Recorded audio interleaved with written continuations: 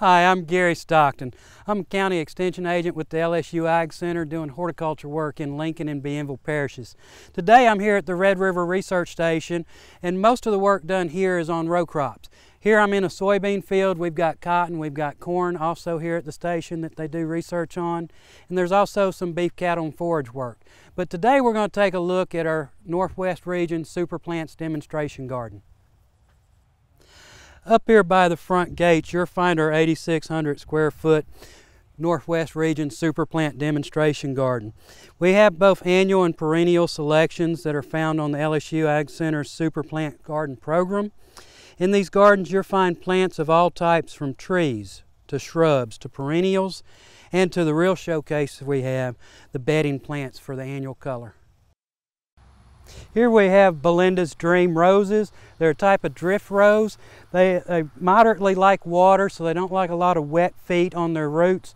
One of the fascinating things I find out about this, when, whenever we need to deadhead these roses, instead of coming out here with pruning shears, it's simple to give it an extra week. These things snap right off. We can deadhead, and when we deadhead, it allows for the new growth to come in. They enjoy full sun, and they can grow to about five feet tall. As you can see here, I'm surrounded by these beautiful pink drift roses. Drift roses will get to be about three foot tall, and their growth habit is kind of low spreading, so they can really fill out a bed well. Uh, roses tend to want about a moderate amount of water. They don't like to have the wet feet on them, and these will bloom profusely throughout the spring, summer, and fall. Hi, on this plant we've got verbena. This particular variety is called Homestead Purple. It's a great mounding plant. One of the things we've got to be careful about with verbena, it doesn't like as much water as some of our other landscape plants out here. The roots can rot on us real quick if we don't do a light watering when we do that. Verbena will grow to a height of about 24 inches and spread out evenly and look beautiful in your landscape. Here we have Buddleia. They have a beautiful vibrant purple flower on them.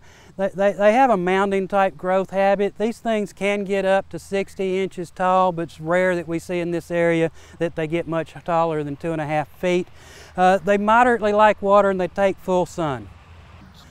Uh, this jungle of flowers I'm coming to now, this is cleome. It's commonly known spider flower.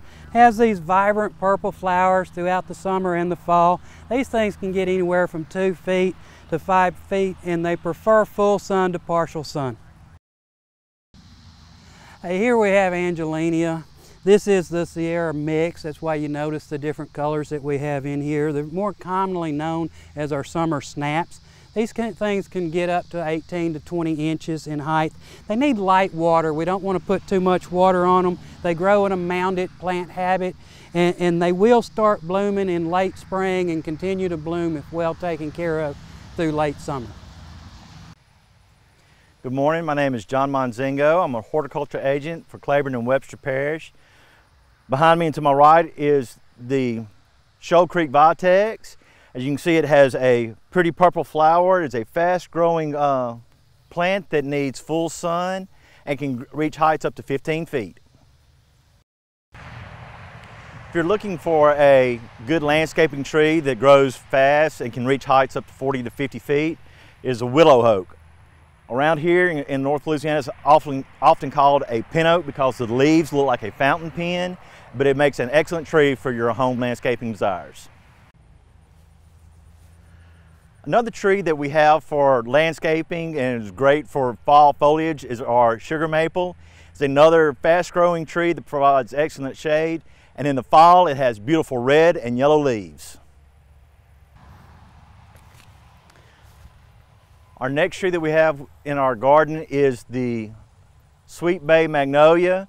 It has your typical white magnolia looking flower and it needs full sun to partial sun and is a fast growing tree. The green shrub that you see here in front of me is the Shishi Gashira Camellia. It has is a slower growing plant, but it has a beautiful fall bloom that you can enjoy late in the year. As you see here, this is a start of the bud for the blooms. Hi, I'm Mark Wilson, Regional Horticulture Specialist for the Northwest region. I'm here right now to show y'all a salvia. This is the Arctic Blaze series, sometimes referred to as summer sage.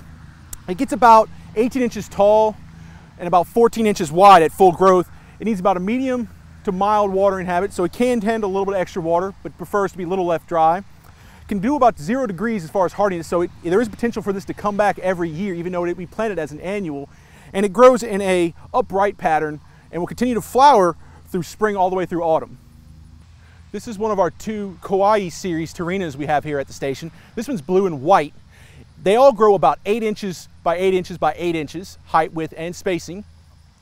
Uh, they're a full sun to partial sun plant, will bloom from late spring all the way through our summer into our autumn, depending on how cool we get, can make it almost into our beginning of our winter period.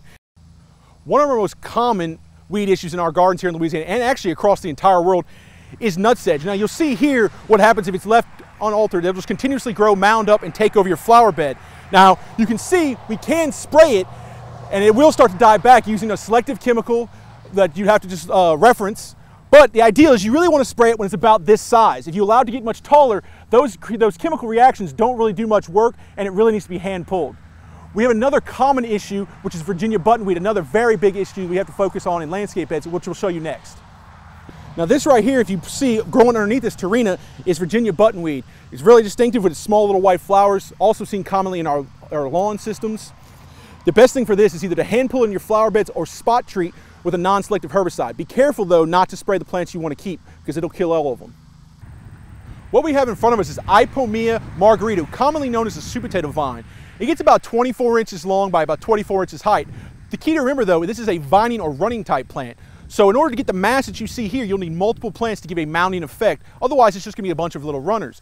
The beauty part about this is it's a low watering plant, great heat tolerance for our summers here, and it'll continue this beautiful color from spring all the way until our first frost.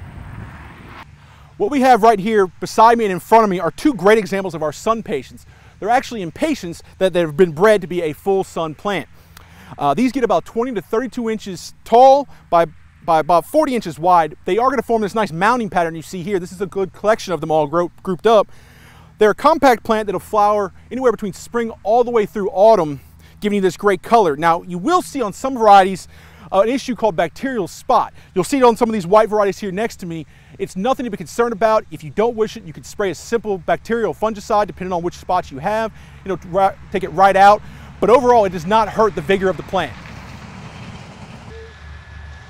What you have next to us here is Asclepias. It's a yellow silk variety, commonly known as milkweed. This will get about 48 inches high by about 32 inches wide it's a wonderful pollinator plant because it does attract some of our, our larval stages for our butterflies. It'll bloom all the way through our season from early spring all the way till through fall. And you will see, if you have a garden like this, which you have, we've seen today, this will attract a large number of your insects like aphids to one plant along with your predator insects like ladybugs. So it's a great bait crop which we could use in a landscape area. What you see right here is a series of about three different types of lichens that are growing on this tree. A lichen is just a cyanobacteria and an algae growing together. And while they looked harmful for this plant, they actually aren't doing anything. They're just using the tree here as a host to hold on to. What this shows horticulturally speaking though is that there's something else wrong with this tree. That's what we need to look for. And in this case, it's clearly showing a lack of fertility and some recovery from a wound that you can see on the side here where my, my hand is, where something has hit it when it was younger, causing the whole plant to grow a little slower, thus the lichens are holding on. The best way to think of lichens is almost like dead skin cells. If it's all healthy and the system's running smooth, the tree is growing properly, they flake off every day and thus you'll never see them grow. What we have here is our flamethrower coleus, one of our new super plants this year. This particular variety is Salsa Rojo.